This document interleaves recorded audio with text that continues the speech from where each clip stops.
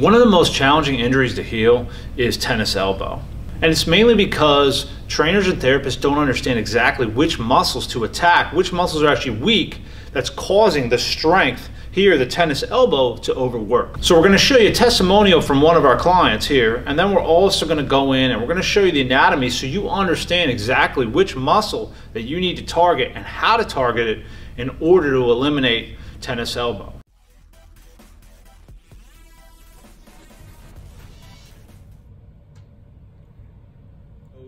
So how long have you had tennis elbow for?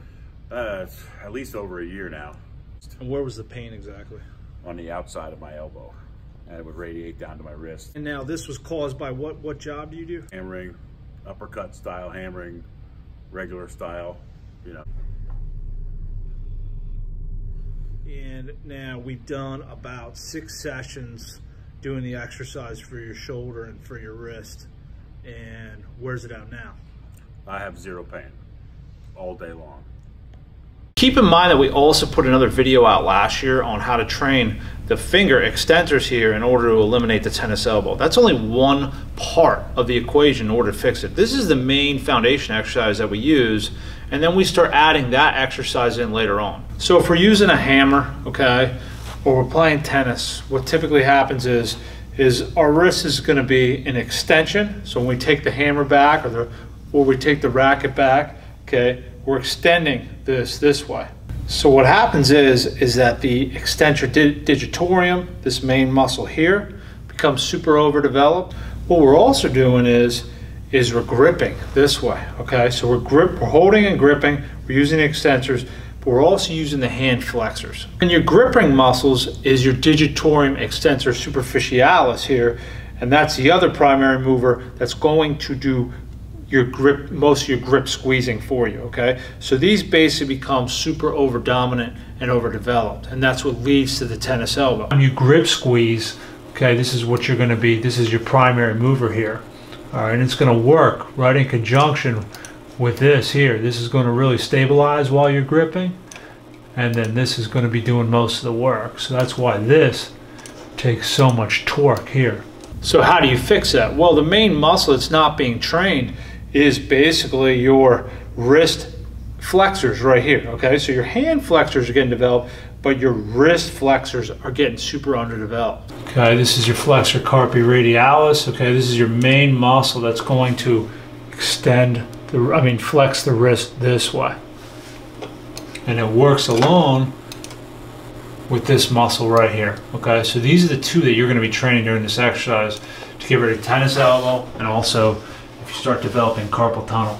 So if you're developing tendonitis in the wrist down and through here, uh, or you start developing early symptoms of uh, carpal tunnel from typing, it's exact same principle. So what's happening is, is look at your wrist here. So your wrist is, is, is up in extension, okay? So you're using your hand extensors, except you're not, you're not gripping and squeezing, so you're not putting as much torque onto the, the uh, extensor digitorum.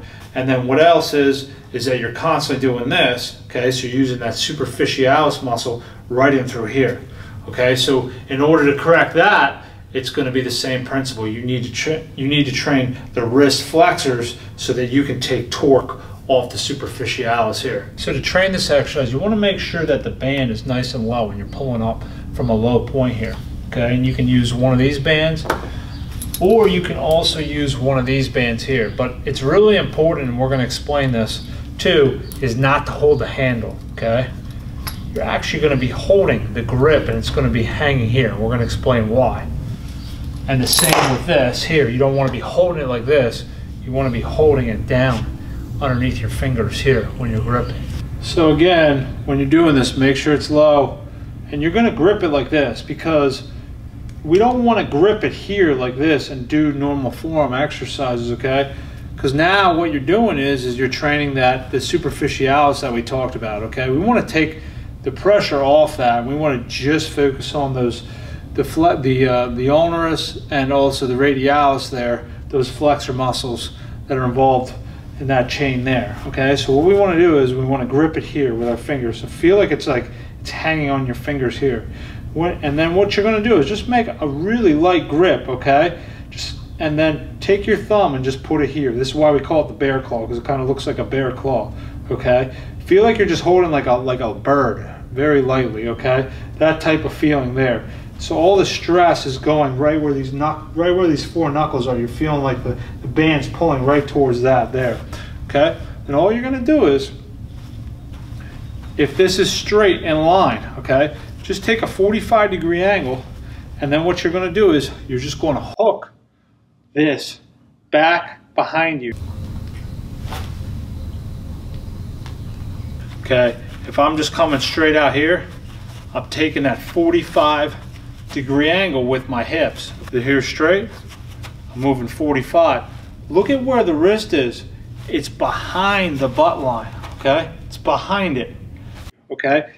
And my hip angle is the same way that my wrist is moving here. So here's my hips here, and look at the angle. It's moving at the, it's moving at the same angle that the hips are in. Okay, I'm not going back behind like this. Everything stays in line with the hip line, just like that. So just squeeze, contract, and that's all you do, just like that. And just kind of hold it and feel it. And you'll, if you're doing it right, you'll feel it right up this, this side here, and right on this side here. That's how you know. And you're not going to feel anything down the center. We're taking that out there. So another really important factor if you're dealing, dealing with tennis elbow, okay, is the fact that if you have a weak external rotator cuff, infraspinatus, also your lats, teres major, okay, if you don't have that support structure, every time you go to swing and hit tennis, or if you're hammering and you have that tennis elbow, okay, this acts as like a shock absorber, so more force is going to be put on this. So in order to really fix tennis elbow, you also have to fix the shoulder. And if you want to learn our entire rehab system, not just for tennis elbow, but also how to fix your shoulder, your hips, lower back injuries, etc., it's called Corexs 12. 12 exercises to fix your entire body.